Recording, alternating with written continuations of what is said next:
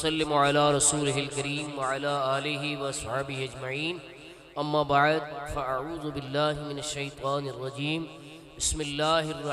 बसमीम वरफ़ना लका ज़िक्रक सदक़ल्लाहु मौलाना अज़ीम वबल्लगना रसूलुहुन्नबियुल करीम इन्नल्लाह व मलाइकतहु युसल्लूना अलन नबी या अय्युहल्लज़ीना आमनू सल्लू अलैहि वसल्लिमु तस्लीमा।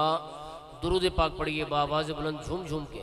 अस्सलातु वस्सलामु अलैका या सय्यदी या रसूल अल्लाह वअला आलिका व स्वहाबिका या सय्यदी या हबीब अल्लाह रबीउल अव्वल शरीफ में दुरूद शरीफ नहीं पढ़ेंगे तो फिर कब पढ़ेंगे?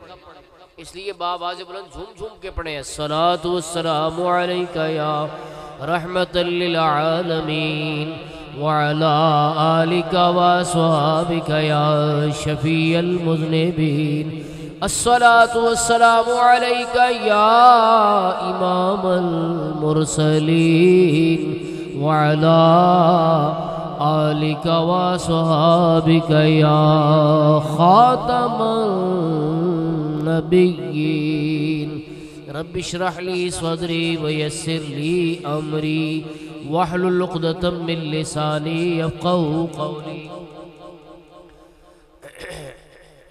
नहायत मोहब्बत अक़ीदत से नबी पाक सल्लल्लाहु अलैहि वसल्लम का पसंदीदा कसीदा बुरदा शरीफ इस तरह से पढ़ें कि कोई ज़बान भी महरूम और ख़ामोश न रहे बावाज बुलंद पढ़िए मौलाया सल्लि वसल्लिम दाइमन अबदन अला हबीबिका खैरिल खल्क़ि कुल्लिहिम मौलाया सल्लि वसल्लिम दाइमन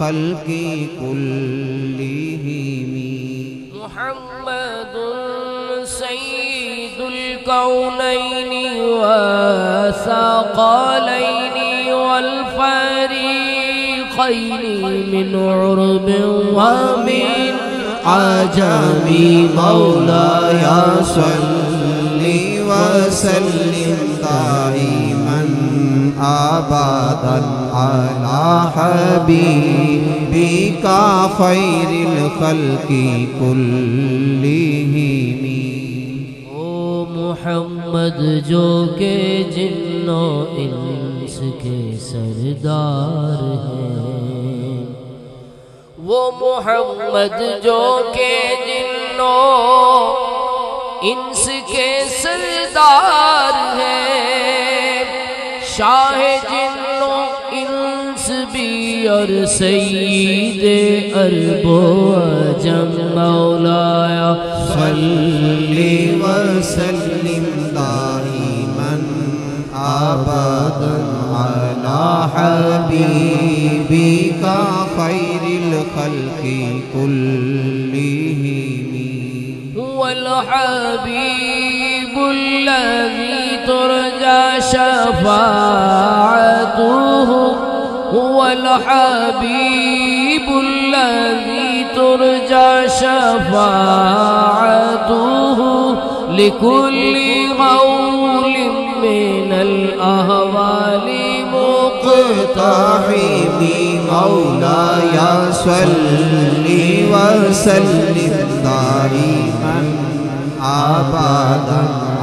अला हबीबिका खैरिल खल्की कुल्लिहिम वो हबीब ऐसे हैं जिनसे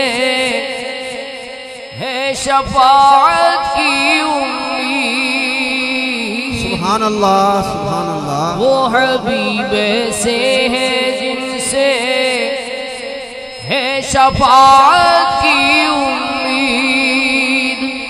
वक्त हो लो खौफ में पेश आएँगे जब रंजो हम मौलाया सल्ली वसल्लिम दाइमन आबादन अला हबीबिका खैरिल खल्qi कुल्लिहिम या रब्बी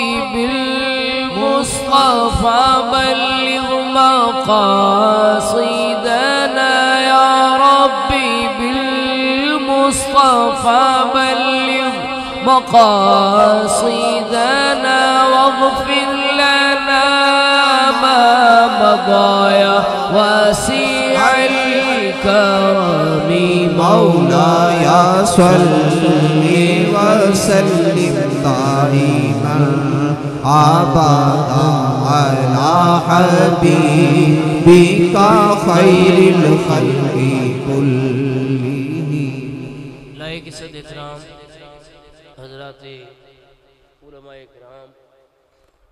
मेरे मोहतरम बुजुर्गो, दोस्तों, अज़ीज़ भाइयों, आज बड़ी मोहब्बत से इस मस्जिद में सालाना महफिल मिलाद मुस्तफ़ा सल्लल्लाहु अलैहि वसल्लम का प्रोग्राम इनका पजीर है। आई सब कितना सालाना अट्ठाईस अट्ठाईसवां। सालाना ये जलसा मुनद हो रहा है। तो अल्लाह ताला हाजी इकबाल साहब और इनके दीगर जो रफ़ा हैं इस महफिल पाक के मुंतजमीन को दारैन में बेहतरीन जजा अता फरमाए। सब कहिए आ गई जब लास्ट टाइम में हाजिर हुआ था, तब ये मस्जिद जेर तामीर थी। आज इसकी रानाइयाँ पूरे जौबन पर हैं। दुआ है जिन्होंने इस मस्जिद को संवारा है, अल्लाह ताला उनके दीन व दुनिया को संवार दे। उनकी खबर आखिरत को संवार दे। जब पिछली मरतबा में आया था तो दाएँ जानेब उस्तादुलमा हज़रत मुफ्ती अहमद यार अशरफ़ी साहब तशीफ़ फरमा थे, आज वो हम में नहीं हैं। अल्लाह ताला उनके दर्जात बुलंद और बाएँ जानेब हज़रत मुफ्ती ग़ुलाम यासीन अशरफ़ी साहब तशीफ़ फरमा थे, अल्लाह ताला उनको सेहत कामिला अता फरमाए। और इन बुज़ुर्गों का साया हमारे सरों पर तादे कायम रखे। बस सेहत वाफ़ियत जो आय करीमा मैंने तिलावत की है, इसमें अल्लाह ताला ने अपने हबीब पाक, साहिब लौलाक सयाह अफलाक अहमद मुशतबा हज़रत मोहम्मद मुस्तफ़ा अलैहि तहियत वसना के ज़िक्र की बुलंदी को बयान करते हुए इरशाद फरमाया है और अफ़ाना लका ज़िक्र ए हबीब, हमने आपके लिए आपके ज़िक्र को बुलंद कर दिया। आपके ज़िक्र को अल्लाह ने बुलंद किया, आप भी ज़रा बुलंद आवाज़ से कह देना। आपके ज़िक्र को जरा बाहर से भी आवाज़ आ जाए। आपके ज़िक्र को किसने बुलंद किया है? तो इसमें एक मैसेज है। कि ज़िक्र मुस्तफ़ा को किसी दुनियादार ने, सरमायादार ने, सनतकार ने, जागीरदार ने, नंबरदार ने बुलंद नहीं किया। बल्कि इसको परवरदिगार ने बुलंद किया है। खाली के कायनात ने बुलंद किया है। लिहाजा जब बुलंद करने वाला वो है तो कोई नीचा कर सकता, कोई ख़त्म कर सकता, कोई बंद कर सकता, कोई पस्त कर सकता जो पस करने की कोशिश करेगा, जो ख़त्म करने की कोशिश करेगा, जो रोकने की कोशिश करेगा, जो नीचा करने की कोशिश करेगा, वो खुदा से लड़ाई करेगा और जो खुदा से लड़ाई करे, वो कभी कामयाब हो सकता। इसीलिए इमाम अहमद रजा मुहदस बरेली रहमतुल्लाह ने फरमाया, अकल होती तो खुदा से न लड़ाई लेते। अकल होती तो खुदा से न लड़ाई लेते। ये घटाएँ, उसे मंजूर बढ़ाना तेरा। ये घटाएँ, उसे मंजूर। तो अल्लाह बढ़ाने वाला है। इसमें मुनकिन को, मुखालिफिन को, दुश्मनान दीन को जवाब है कि तुम कोशिश करते हो कि शान मुस्तफ़ा में कमी आ जाए। तुम कैरी केचर बनाते हो, तुम खाके बनाते हो, तुम गुस्ताखियाँ करते हो, तुम बेदबियाँ करते हो और नीयत ये रखते हो कि जनाब शान मुस्तफ़ा में कमी आ जाएगी, ये तुम्हारी भूल है। शान मुस्तफ़ा में कमी नहीं आ सकती, मकाम मुस्तफ़ा में कमी नहीं आ सकती, ज़िक्र मुस्तफ़ा में कमी नहीं आ सकती, क्यामत तक बुलंदी होता चला जाएगा। इसे बुलंदी करने वाला, इसे बुलंदी देने वाला, इसे अजमत अदा करने वाला कौन है? खालिक कायनात। अल्लाह जल्ल मजदुल करीम है। उसने इस ज़िक्र को बुलंद किया है, लिहाजा कोई नीचा कर सकता। कहने वाले ने सही कहा है कि पस्त वो कैसे हो सकता है? जिसको हक ने बुलंद किया।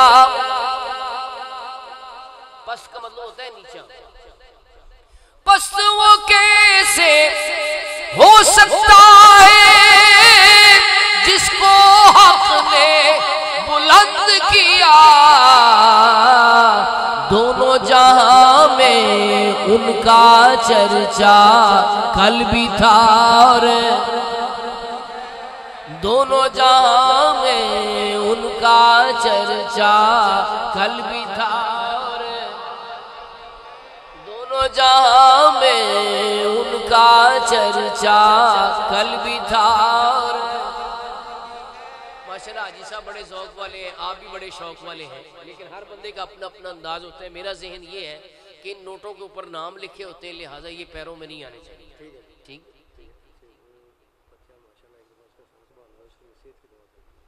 हाँ, अल्लाह ताला सेहत अल्लाह ताला सेहत फरमाए। तो अर्ज़ में क्या कर रहा हूँ? कि ये ज़िक्र अल्लाह ने बुलंद किया है, कोई नीचा कर सकता। अपनी सी कोशिश करते हैं, आसमान की जानब थूकते हैं, उनके ऊपर ही पड़ता है। फ्रांस हो, लंदन हो, यूरोप सारा हो, अमेरिका हो, ऑस्ट्रेलिया हो, इंडिया हो, इसराइल हो, बड़ी कोशिश करते हैं इस ज़िक्र को घटाने की। और लोगों को डाइवर्ट करने की, गानों की तरफ़ लगाने की, बाजों की तरफ़ लगाने की, फ़िल्मों की तरफ़ लगाने की, मोबाइल की तरफ़ लगाने की, पबजी की तरफ़ लगाने की, बड़ी उन्होंने कोशिश की, लेकिन मिलाद मुस्तफ़ा की रौनक में हर साल इजाफा हो रहा है।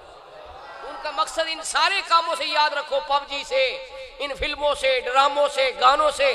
उनका एक ही मकसद है कि उम्मत का नाता मुस्तफ़ा से तोड़ दे, लेकिन ये उनकी भूल है। कुत इश्क से हर पस्त को बाला कर दे, दहर में इसमें मोहम्मद से उजाला कर दे।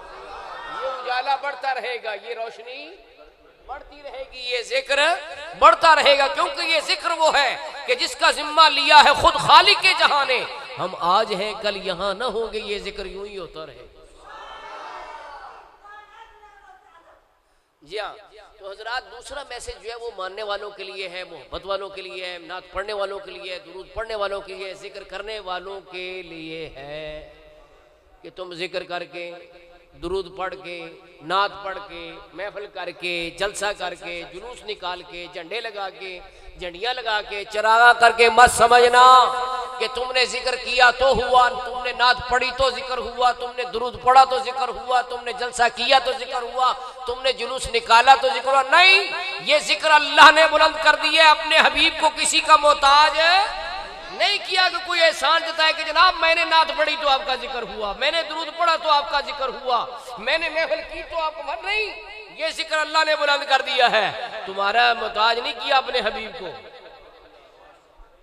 हबीब पाक को किसी का मोहताज नहीं किया।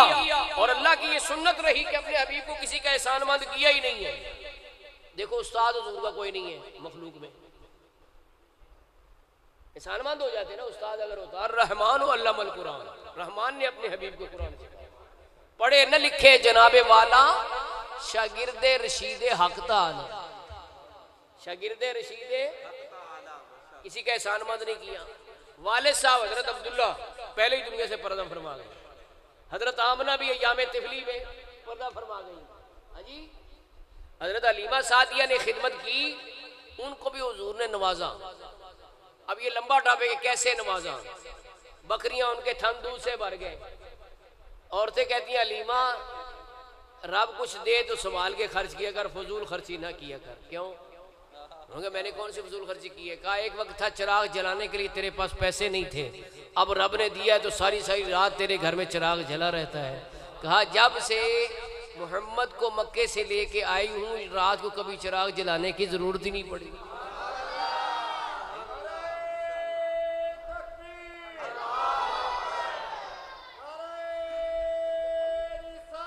तो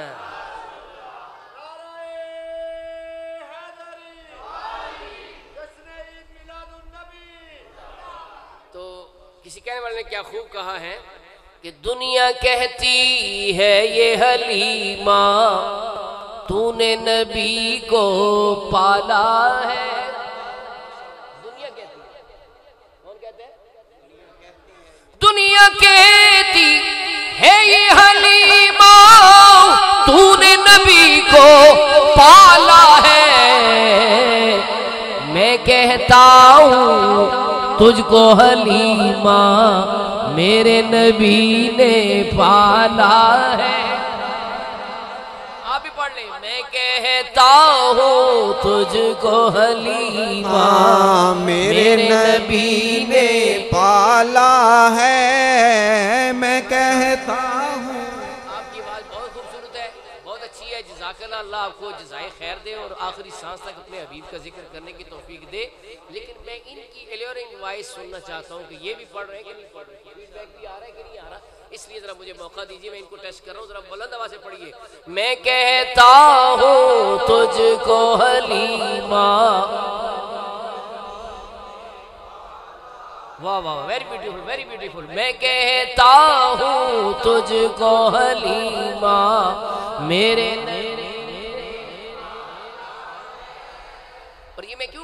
सब पढ़े इसलिए कि अपनी बख्शिश अपनी भलाई का ये काम निकाला है। अपने नबी के गुण गाते हैं जब से होश संभाला है।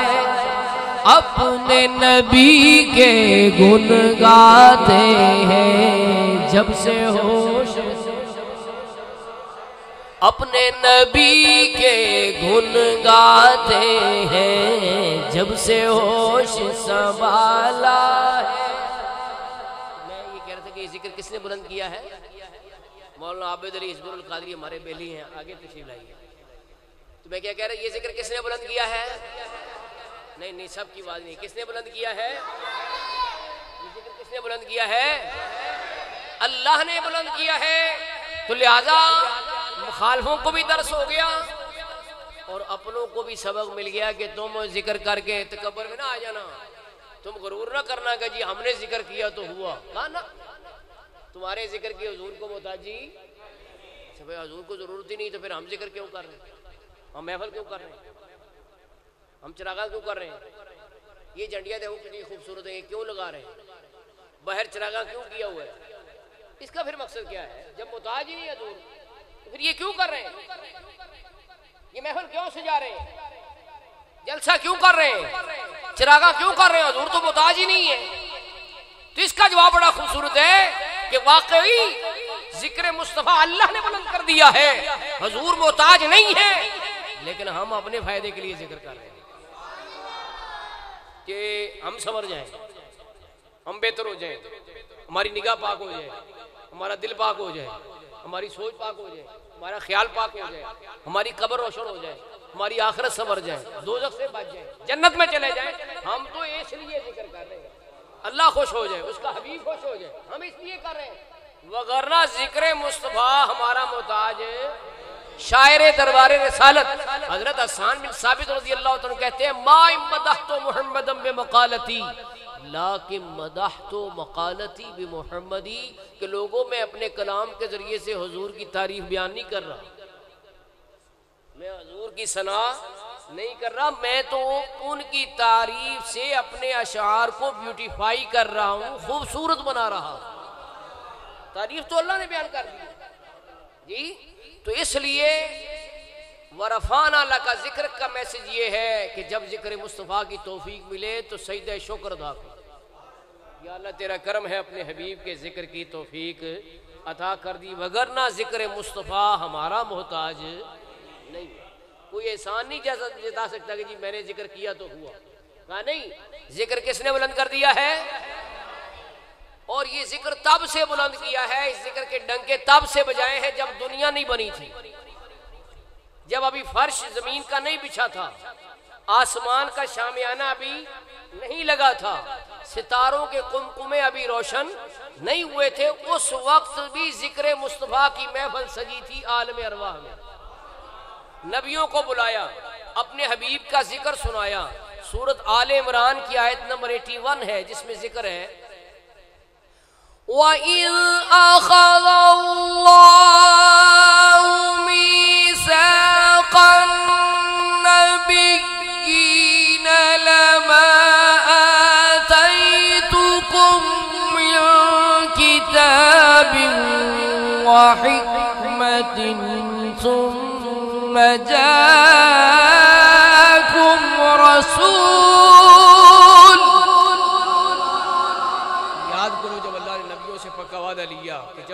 मैं तुम्हें किताब हिकमत दूँ, फिर वजमत वाला रसूल तुम्हारे पास आ जाए। तुमने क्या करना है? तुम्हें नुन्ना बे ही वाला तन सुरन्ना तुमने ज़रूर ज़रूर ईमान लाना है, ज़रूर ज़रूर उनकी मदद करनी है। देखो, हजूर की आमद बयान हो रही है।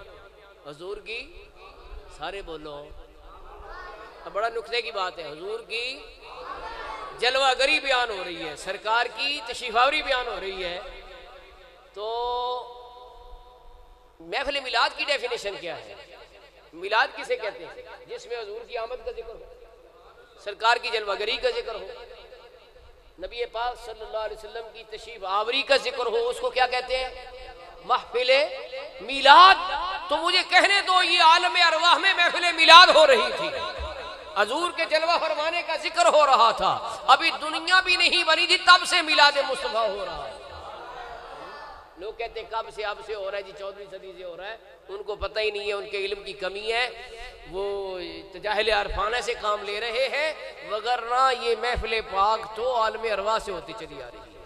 अभी आगे चलने से पहले मैं एक और महफल आपको दिखा दूँ, एक और झलक कि अल्लाह ताला ने सब रूहों को बुलाया और अपनी तोहीद का ज़िक्र फरमाया। इन लफ्ज़ों में, अलस्तो बे रब क्या मैं तुम्हारा रब नहीं? सारे बोले, कालू बुला या अल्लाह, क्यों नहीं तू हमारा रब है? बात ख़त्म कर दी, लेकिन जब अपने हबीब की बारी आई तो देखो ज़रा अहतमाम क्या किया, फरमाया, जब तुम्हें मैं किताब हिकमत दूँ। हाँ जी, फिर वो अजमत वाला रसूल तशरीफ़ लाए मुसद्दकुल्ल माकुम जो तुम्हारे पास है, उसकी तस्दीक करता हुआ, तुमने क्या करना है? ज़रूर ज़रूर उन पे ईमान लाना है। ज़रूर ज़रूर उनकी मदद कर रही है। काल अकर तुम क्या तुमने इकरार किया? वाखस तुम अलाकुम इसरी और इस पर मेरा भारी जिम्मा कबूल किया। कालू अकरना सब एक ज़ुबान बोले, या अल्लाह, हमने इकरार किया हमने इस पर भी बात खत्म नहीं की। वो पहले जलसे का मजमून जेन में रख के सुनो, ईमान ताज़ा हो जाएगा। बात इस पर खत्म नहीं हुई। बल्कि अल्लाह ने फरमाया, काला फशहदू, एक दूसरे पे गवाह हो जाओ। एक दूसरे पे गवाह हो जाओ। ये कुरान पाक है। ये कोई नावल नहीं। ये कोई अफसाना नहीं। ये कोई अखबार की खबरें नहीं पढ़ रहा, रब का कुरान पढ़ रहा हूँ। जिसको कोई जुटला ही नहीं सकता कि जिसकी सनत कमज़ोर है। वो खुद कमज़ोर हो जाएगा जो इसको जुटलाएगा। नहीं है ना जी? तो ये रब का कुरान है। जिसमें ये मजकूर है कि हजूर के ज़िक्र का इतना एहतमाम किया, फरमाया एक दूसरे पे गुआ हो जाओ। इस पे भी बात ख़त्म नहीं की। अगली बात अगर आपने तवज्जो से सुन ली तो ईमान ताज़ा हो जाएगा। फरमाया वह आना माकुम मिन शाहिदीन और मैं भी तुम्हारे साथ गवाहों में शामिल हूँ।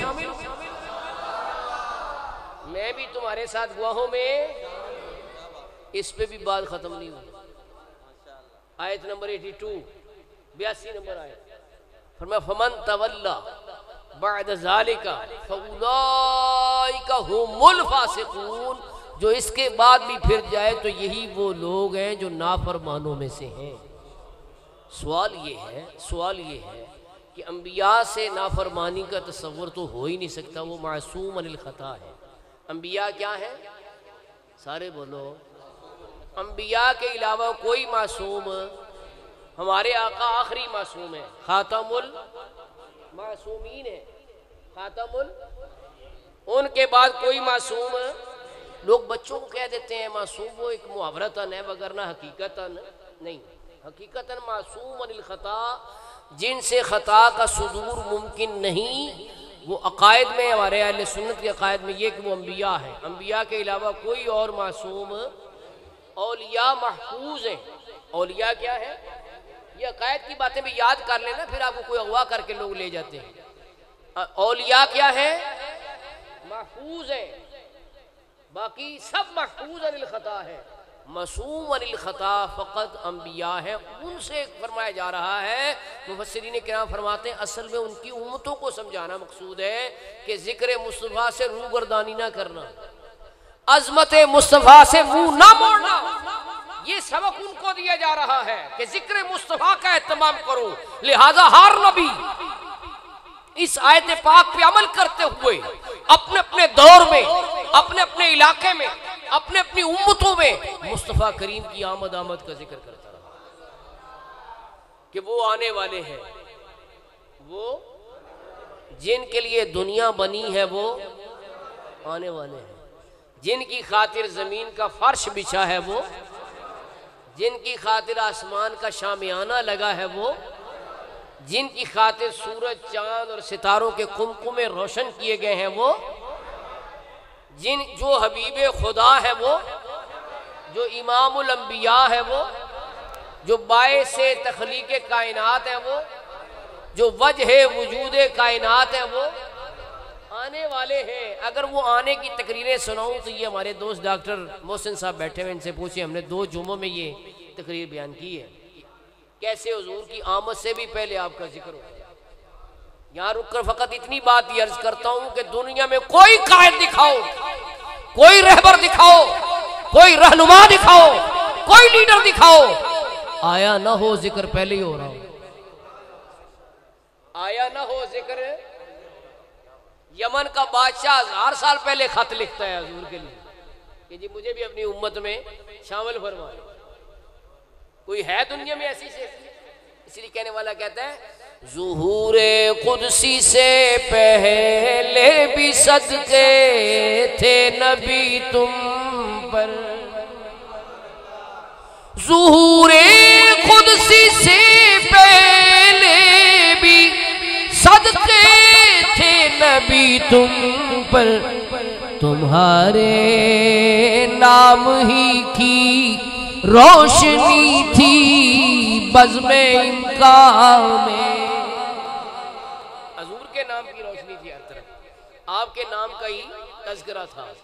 हर नबी ज़िक्र करता रहा कि वो आने वाले हैं। हम आपको हज़रत ईसा की स्पीच सुनाते हैं।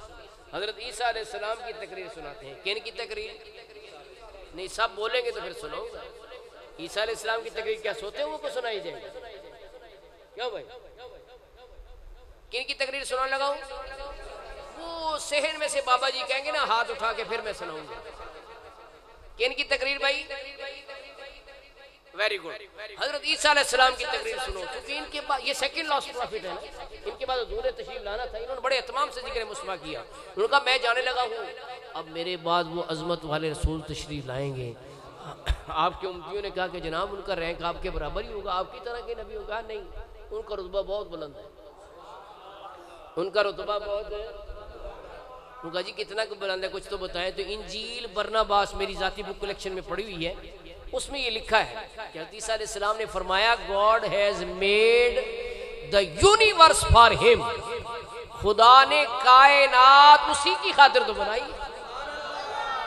वो जिसके लिए दुनिया बनी है, उसका रुतबा इसी से पहचान लो, दुनिया उनकी खातिर बनाई है। आला हज़रत फरमाते हैं, जमीनो जमा बारगाह रिसालत में अर्ज़ करते हैं, जमीनो जमा मकीनो मकान, चुनीनो चुना बने दो जहाँ, दहन में जबा, बदन में है जहाँ हम आए यहाँ, उठे भी वहाँ, सबाबो चले के बाग फले, वो फूल खिले के दिन हो भले, लिवा के तले, सना में खुले रजा की जबा। लिवाउल हम झंडा हजूर के हाथ में होगा क्यामत वाले दिन। आज कई लोगों को झंडा हजम नहीं होता। झंडे से एलर्जिक है कि झंडा कहाँ से आया है? उस दिन भी झंडा होगा, हजूर की उम्मत झंडे के साय के नीचे होगी। हजूर के दस्ते मुबारक पे झंडा होगा, हमद का, लिवाउल हम और आला हज़रत दुआ कर रहे हैं, यार सुना जैसे यहाँ नाते पढ़ रहे हैं, लिवाउल हमद आपके दस्ते मुबारक में हो, क्यामत वाले दिन आपकी उम्मत उस झंडे के साय के नीचे हो। उस वक्त मुझे कहा जाए कि तू हजूर की नात लिवा के तले, सना में खुले, रजा की ज़ुबान सलाम में भी वो यही कह रहे हैं, लोग समझते नहीं, पढ़ने वाले भी। वो असल में ये बात कर रहे हैं, काश महशर में जब उनकी आमद हो और भेजे सब उनकी शौकत पे लाखों सलाम तो मुझसे खिदमत के कुछ सी कहें हाँ रजा, मुस्तफ़ा, जाने रहमत पे लाखों सलाम। लोग आगे से कोई और सलाम शुरू कर देते हैं। हालाँकि बाद मुकम्मल वो कहते हैं कि जब हजूर की आमद हो मैदान हशर में तो खिदमत के खास फरिश्ते कुछ सी। मुझे पुकार कर कहे कि रजा सब तो सलाम पढ़ रहे कोई दरूद माही, कोई दरूद लखी, कोई दरूद खिदरी, कोई दरूद ताज, कोई दरूद न जाती तू वो दरूद पढ़ मुस्तफ़ा जान रहमत पे, शम बज़म हिदायत पे। मरहबा मरहबा शेख तफल इजलिस माशा तो अर्ज़ में क्या कर रहा था?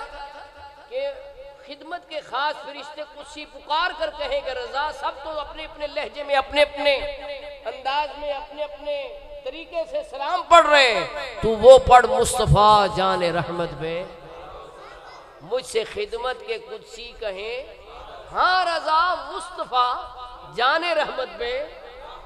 अब ये इतनी दफ़ा पढ़ा गया है, इसका अरबी नज़म में भी तर्जमा हुआ है और मिस्र से छपा है अलमंजूमत सलामिया फ़ी मद खैर बरिया और इंग्लिश नज़म में भी तर्जमा हुआ है लंदन से छप चुका है। इतना मकबूल आम तो मुझे कहने दीजिए, वक्त अगर जो मुख्तर है, लेकिन मेरा जौक कह रहा है कि मैं ये पढ़ूँ। आवाज़ चारों समत है, लाखों सलाम की।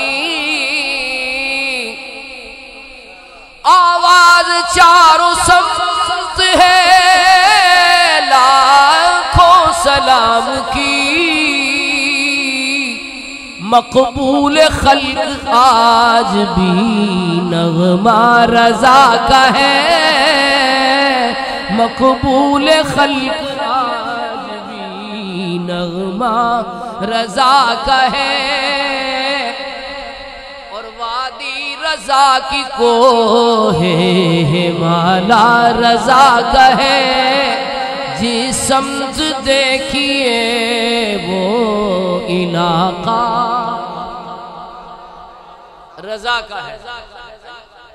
तो ये सलाम जो है, उसमें वो इतमन्ना कर रहे हैं कि मुझे क्या दिन जब कहेंगे ना तो मेरी मेहनत की कीमत वसूल हो जाएगी। मैं सरकार की बारगाह में पढ़ूँ।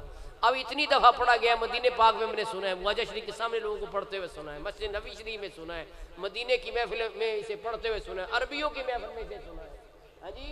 तो ये कबूल ही कबूल है। अब मसला हमारा है, ख्वाहिश हमारी है, फरियाद हमारी है, रिक्वेस्ट हमारी है, और वो ये है, काश जिस दम सुनाए रजा ये सलाम। काश जिस दम सुनाए रजा ये सलाम। ये तरन्नुम से भरपूर दिलकश सलाम।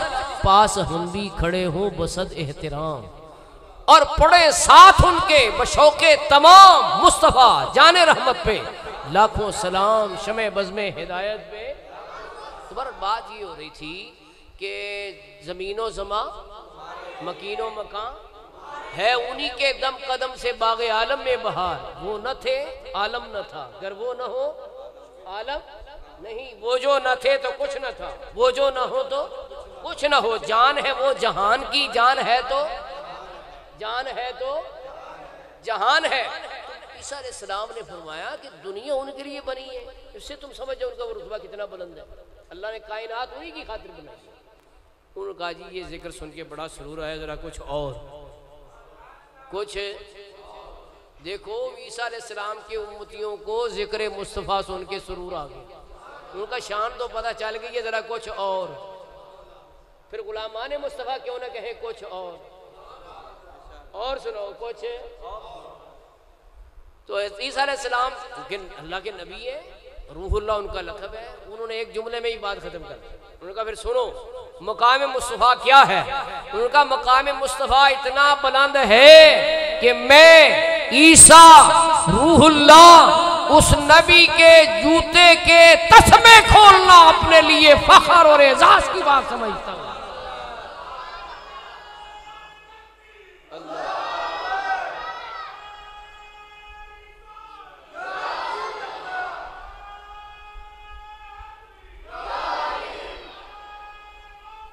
या गौसियाज मरहब मरहब।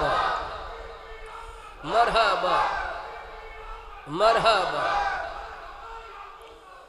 मरहबा। या मुस्तफ़ा। मरहबा या मुस्तफ़ा। मरहबा या मुस्तफ़ा। सल्लल्लाहु अलैहि वसल्लम। तो हज़रत मोहतरम मैं ये अर्ज़ कर रहा था कि तस्में कौन खोलता है? जो सर्वेंट होता है, जो खादिम होता है।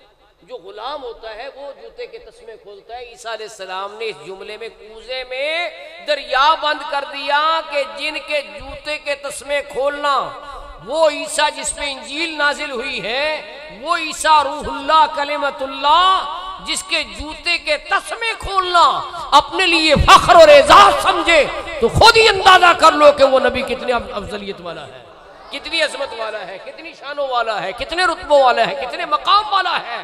है जी? तो फिर मैं ये अर्ज़ करूँगा कि ईसा सलाम उस नालन पाक से इतनी मोहब्बत का इजहार करें तो गुलामा ने मुस्तफ़ा क्यों ना उसे झंडों पे सजाएँ? क्यों ना उसके बैज लगाएँ?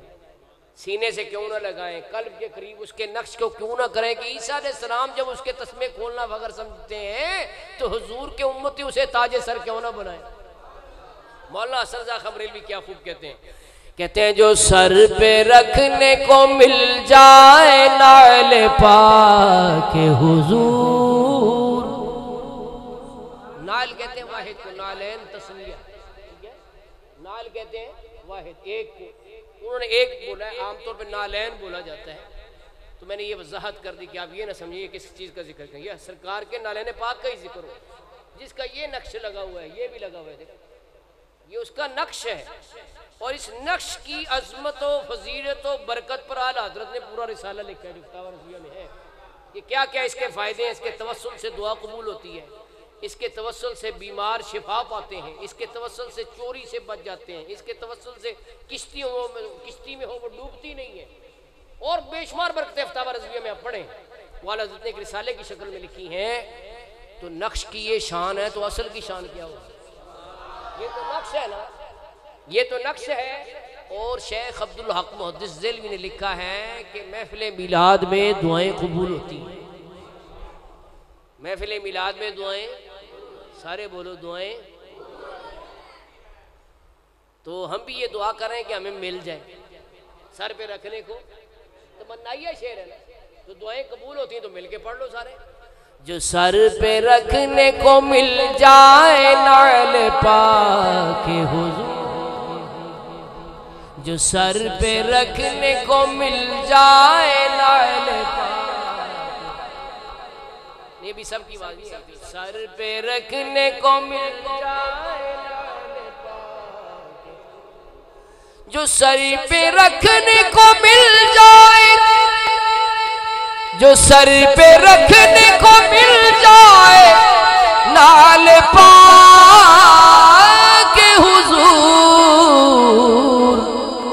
फिर कहेंगे कि हाँ ताजदार हम भी हैं।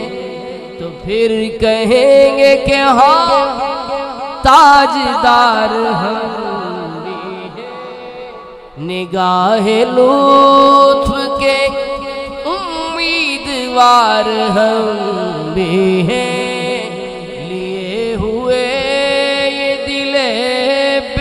करार हम भी लिए हुए ये दिल बेकरार हम भी हैं।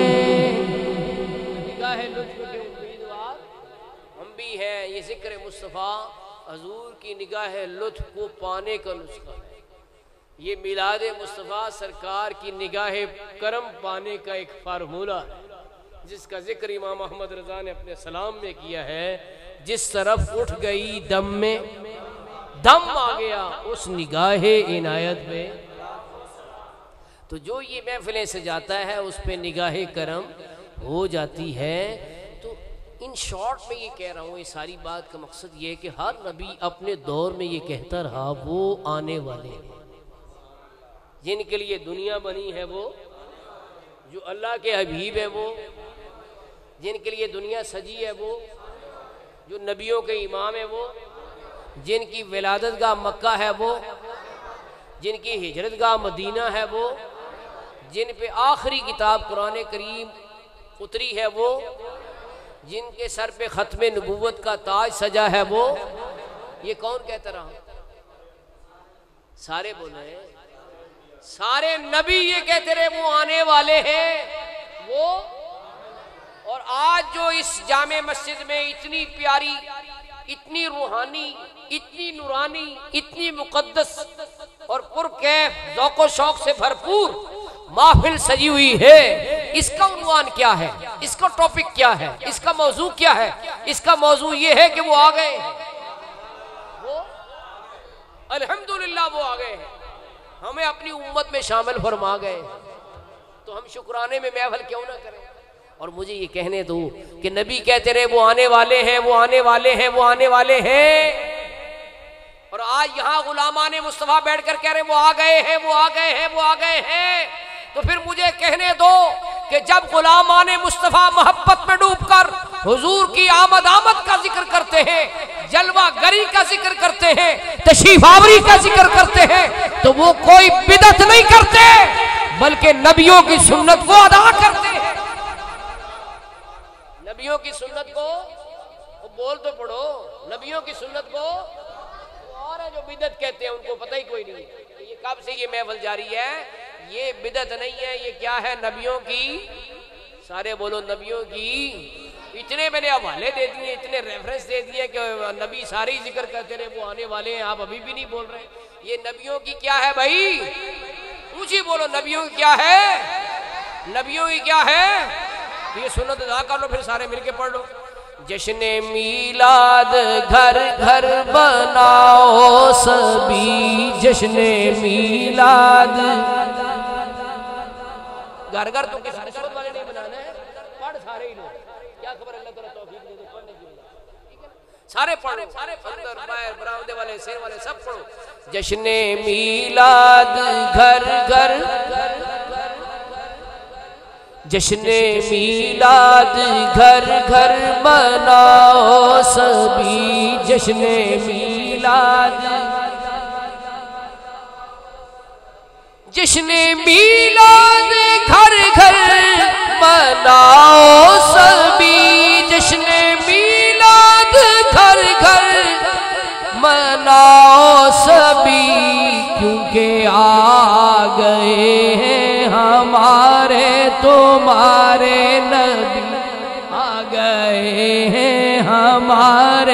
तुम्हारे नबी आ गए हैं। हमारे, तुम्हारे नबी सब तो कहने का मकसद ये है कि अम्बिया कराम हजूर की आमद का ज़िक्र करते रहे और हम भी उनकी सुन्नत पे अमल करते हुए शुक्राने के तौर पर सरकार की आमद का ज़िक्र कर रहे हैं। कुरान करीम में अल्लाह ने जा बजा अपने हबीब की आमद को बयान फरमाया है और उसके एहसान को याद फरमाया। सुने जरा, अल्लाह पाक फरमाते हैं। लक़द मन्नल्लाहु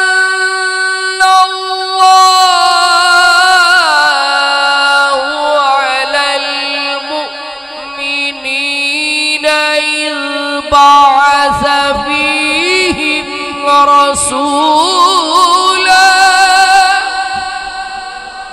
तहकीक अल्लाह ने मोमिनों पर एहसान फरमाया कि उनने अपना रसूल भेज दिया। देखो, अल्लाह भी अपने हबीब की आमद बयान फरमा रहा है। अपने हबीब की। अब आगे सुनो अल्लाह पाक क्या फरमाते हैं।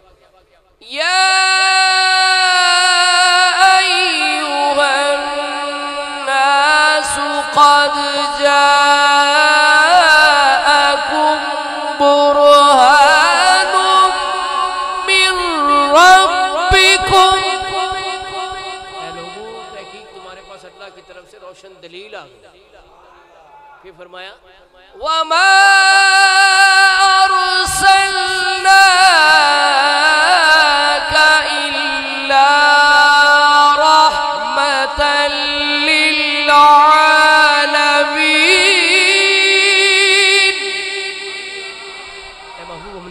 सब जहानों के लिए रहमत बनाकर, भेजा। रहमत बनाकर। तो ऐसी तमाम आयात में आप देखेंगे कि अल्लाह ने तीन ही लफ्ज इस्तेमाल फरमाए हैं, बासा, जा अरसल और सबका मफहूम भेजना ही। अब इस पर भी एक बड़ी तवील गुफ्तु हो सकती है, लेकिन समराइज कर रहा हूँ। वक्त करीब है। आखिरी लम्हों में मैं ये कहना चाहता हूँ कि जश्न मीलाद हम सब मनाएँगे। जश्न मीलाद सारे बोलो। मनाएँगे ज़िक्र मुस्तफ़ा से अपनी ज़बान को मुअत्तर। दुरू शरीफ हम सब पढ़ेंगे और इतनी कसरत से ये ज़िक्र करेंगे कि मैं सो जाऊँ। या मुस्तफ़ा कहते कहते और खुले आँख सल्ले अल्लाह कहते कहते मिलाद शरीफ का ज़िक्र हर लम्हे बढ़ता रहेगा दुरू शरीफ का तस्करा हर लम्हे। मकाम मुस्तफ़ा का डंका हर लम्हे। बजता रहेगा। और ये भी मैं बता दूँ कि ये ज़िक्र जो अल्लाह ने बुलंद किया है खुद, ये स्टेटिक पोजीशन में नहीं है, बल्कि डायनेमिक पोजीशन में है, मुसलसल बढ़ रहा है। रोकने वाले कितने थे? वो सब मर गए खप खपा गए। लेकिन ज़िक्र क्यामत तक होता रहेगा। उसकी भी दलील कुरान करीब में सूरत दुहा में अल्लाह फरमाता है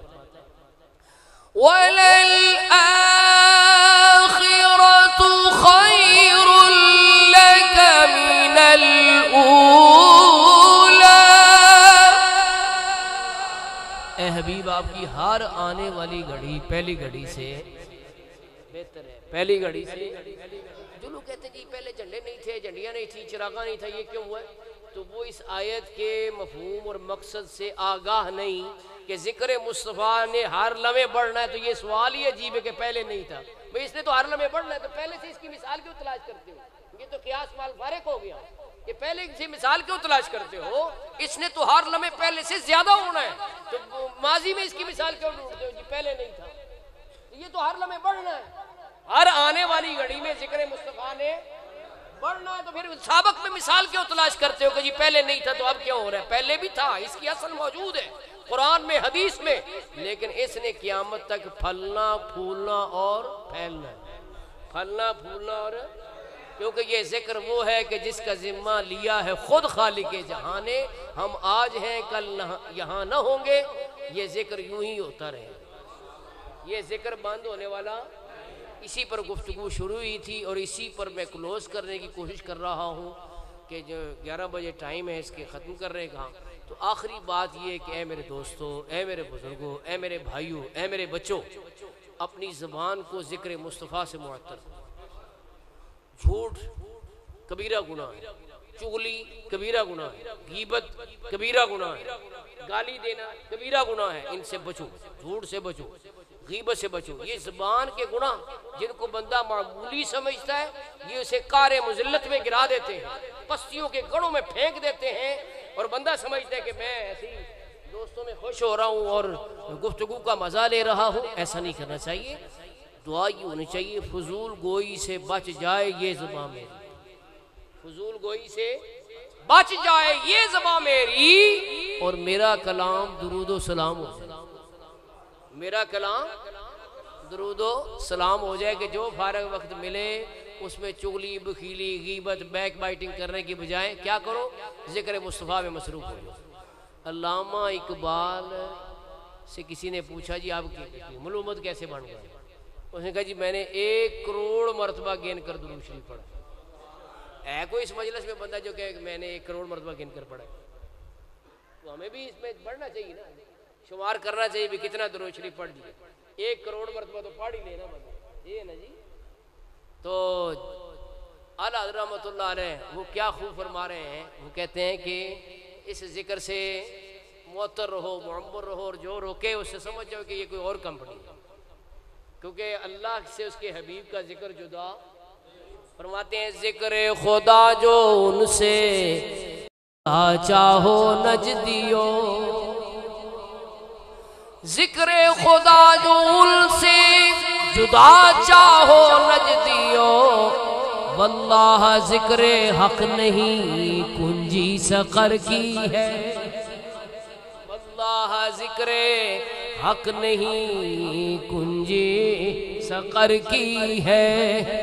खुदा का ज़िक्र करे, ज़िक्र मुस्तफ़ा ना करे, हमारे मुँह में हो ऐसी जबान। खुदा ना करे। कहीं ये ज़िक्र जुदा है ही नहीं। आखिरी में मुझे एक और बात याद आ गई। जबरील अमीन सलाम बारगाह रिसारत में हज़रत तवील हदीस हदीस कुछ इसको कहते हैं। सवाल ये था कि आपका ज़िक्र कैसे बुलंद हुआ है? हजूर ने फरमाया, अल्लाह ने बुलंद किया वही जानता है। अल्लाह पाक ने फरमाया, हदीस कुछ है, इज़ा जुकिर तो जुकिरता माई, के हबीब, जब मेरा ज़िक्र किया जाएगा, साथ तेरा भी ज़िक्र कलमा है, ला इल्लल्लाह दरमियान में अरफ अतफ ही नहीं मौजूद अजान नमाज़ का बुलावा है, जिसकी नमाज़ पढ़नी उसकी तोहहीद का ऐलान हो, और साथ ही अयानसरा की बात ख़त्म कर दी जाए। लेकिन अशहद मोहम्मद रसूलुल्लाह, इस वाद रब्बानी की तकमील के लिए नमाज़ किसकी पढ़ते हैं? लगता है जितने बोले उतने ही पढ़ते हैं। अल्लाह करे, महफिल मिलाद की बरकत से सारी नमाजी पढ़ ठीक है ना? पाँच वक्त की नमाज़ पढ़े, बल्कि अल्लाह तोफीक दे तो तहजद भी पढ़े। इशराक, चाश भी पढ़े, अवाबीन भी पढ़े, बंदा तो इसलिए आया ना। बंदे को क्या कारोबार के लिए पैदा किया है? बंदे को बैंक बैलेंस बनाने के लिए पैदा किया अल्लाह ने क्यों पैदा किया कभी इस पर भी गौर किया पुराने करीम सताइसवें पारे में अल्लाह फरमाते हैं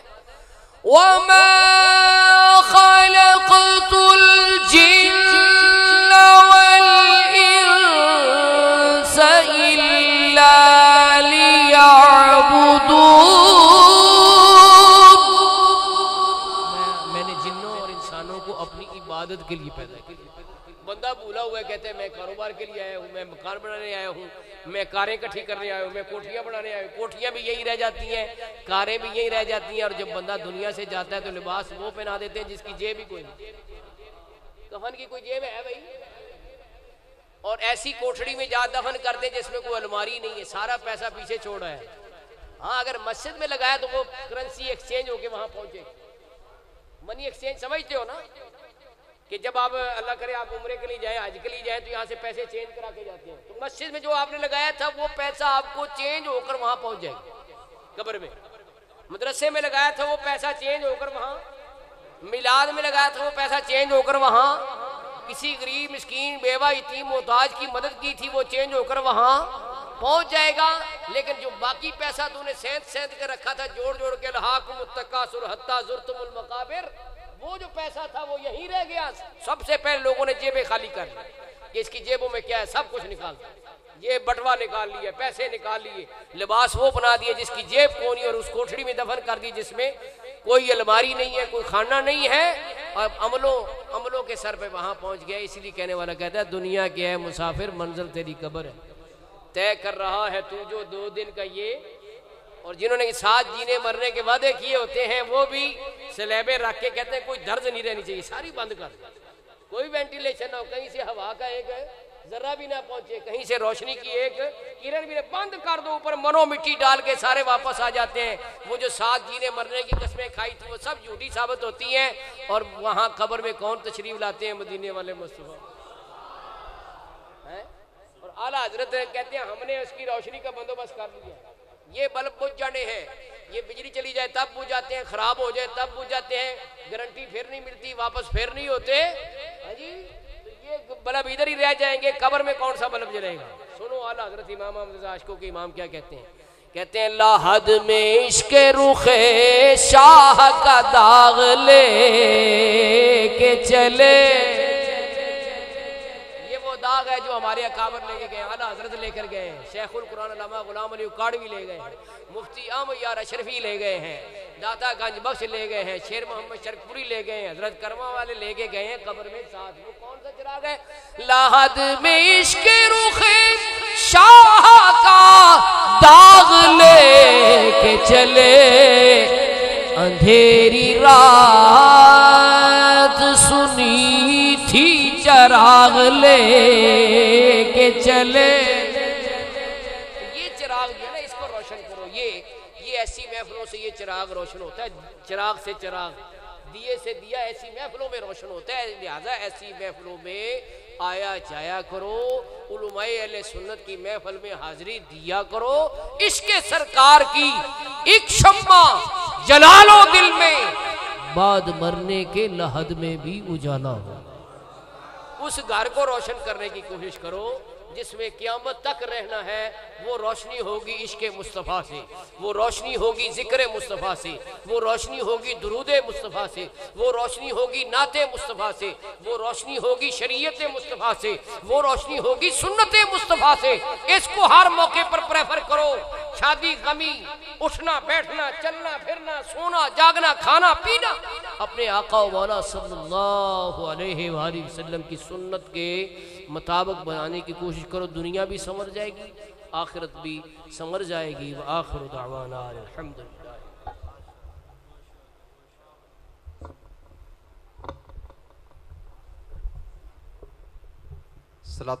के लिए खड़े हो जाएँ बाप उसके बाद इंशाल्लाह खत्म शरीफ होगा जी। कारी रबट मास्टर मुस्तफ़ा जाने रहमत पे लाखों सलाम शमाए बज में।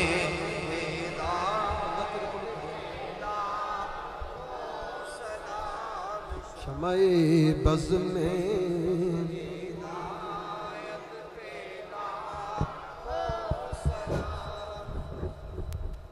वक्त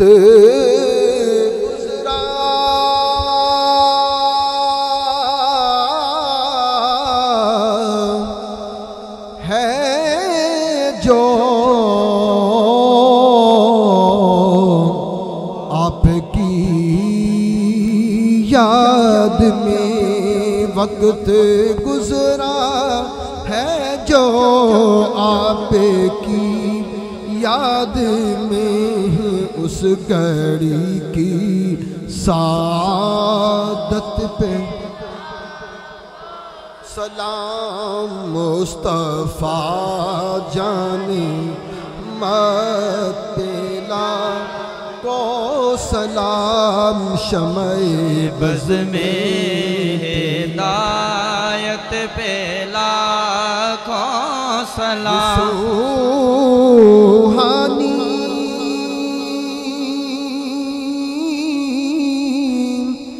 गरी चमका तैबा का चाँद ये सुहानी गरी चमका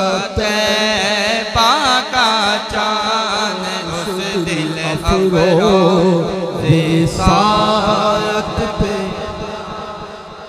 ओ सलाम मुस्तफ़ा, जाने रहमत पेला को सलाम शमय बज में तेला हिदायत पे लाखों सलाम। या रसूल।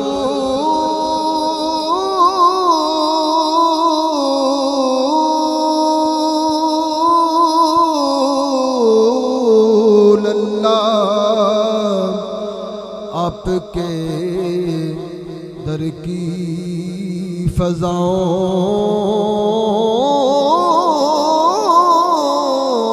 को सलाम। गुंबद खजरा की ठंडी ठंडी छाओं को सलाम। और जो मदीने कूचों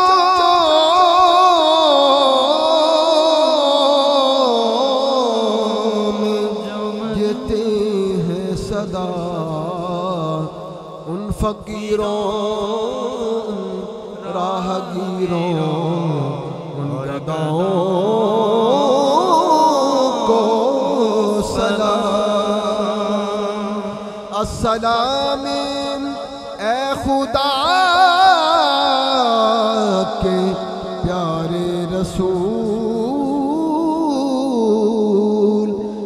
सलाम। आज जाना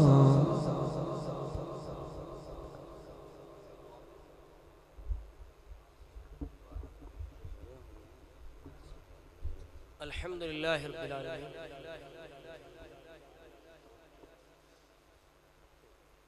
अल्हम्दुलिल्लाह रब्बिल आलमीन वस्सलातु वस्सलामु अला सय्यिदिल अंबिया वल मुरसलीन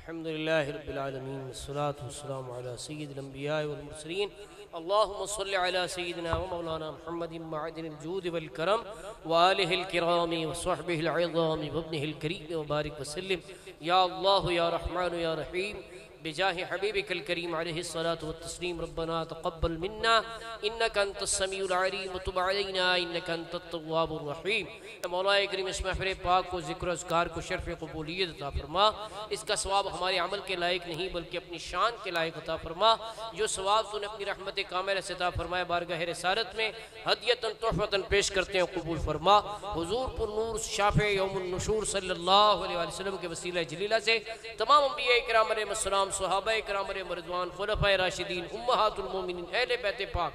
सरकार के वालदेन करीमैन, आपके चचा जान सैदुल हमजा सैदुल अब्बास रदी अल्लाह हसनैन करीमैन शहदाय बदरो हदो हुनैनो खंदको तबूको करबलाओ, यमामो, यरमूक को पेश करते हैं शरफ कबूलियत फरमा।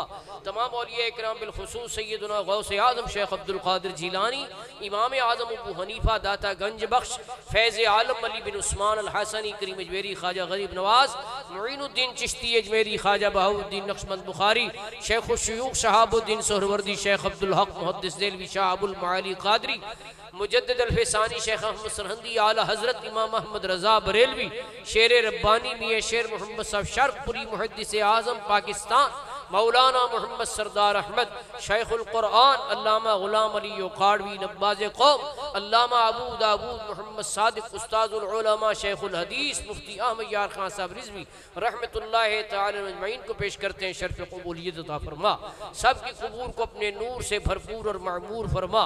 या अल्लाह तमाम ममिनत, बिलखसूस हाजरीन के और मुंतजमीन के जितने अज़ीज़ अकारब, इस दुनिया से रुखसत हो चुके हैं, सबको इशारे सवाब करते हैं। शर्फ कबूलियत फरमा हाजरीन की या जो जो जायज़ हजात है, इसमें फिर पाक की बरकत से पूरी फरमा। उठे हुए हाथों को और फैली हुई झोलियों को अपनी रहमतों और बरकतों से भरपूर और मामूर फरमा। या अल्लाह कश्मीर और फ़लस्तीन को आज़ादी अता फरमा। आलम इस्लाम का बाला फरमा। गुस्ताखान रसूल को नेस्तो नाबूद और तबाह बर्बाद फरमा। या अल्लाह ज़िक्र मुस्तफ़ा से अपनी ज़बानों को मुअत्तर और मुअम्बर बनाने की तोफ़ी अता फरमा। कसरत से दुरू शरीफ पढ़ने की कुरान पाक की तलावत करने की तोफ़ी अता फरमा। मैं सो जाऊँ, या मुस्तफ़ा कहते कहते, और खुले आँख सल्ले आला कहते कहते, इसमें फिर पाक के इंतज़ाम इंसराम व अहतमाम में जिन अहबाब ने किसी भी हवाले से हिस्सा लिया सबको दीन, दुनिया, आखिरत की बरकतें और भलाइयाँ अता फरमा। जिस मोहब्बत से हमने ये महफिल सजाई और जिस जौक शौक से हम यहाँ हाजिर हुए, ऐसे ही जौक शौक के साथ शरीयत और सुन्नत पे अमल करने और शादी गमी हर मौके पे शरीयत और सुन्नत की बाला दस्ती जो है उस पर हमें यकीन रखने की तोफ़ी अता फरमा। तमन्ना है कि इस दुनिया में कोई काम कर जाए, अगर कुछ हो सके तो खिदमत इस्लाम कर जाए। और जो मुझे आई ने जिनकी बीमारी गिरी का या अल्लाह उनको सेहत फरमा। और मुफ्ती गुलाम यासीन साहब को सेहत फरमा। और जिस बच्चे को बिजली लग गई है, या अल्लाह उसे सेहत तो कामिला आता फरमा। या अल्लाह दीन दुनिया आखिरत की बरकतें और भलाइयाँ अता फरमा। जिन दोस्तों ने दुआओं के लिए कहा, यह कहना चाहते थे, कह न सके, सब की जायज़ दिली, नेक मुरादें पूरी फरमा। या इलाही, हर जगह तेरी अता का साथ हो। जब पड़े मुश्किल, शहे मुश्किल कुशा का साथ हो। या इलाही, जो दुआएँ नेक हम तुझसे करें कुदसियों के लब से आमीन रब्बना का साथ हो। या इलाही, जब रजा खाबे गिरा से सर उठाए दौलत बे दार के मुस्तफ़ा का साथ हो। वसल्लल्लाहु अलैहि मोहम्मद